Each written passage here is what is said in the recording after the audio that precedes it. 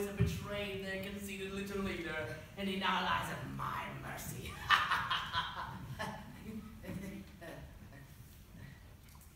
I might ask myself if I don't feel just a smidgen of compassion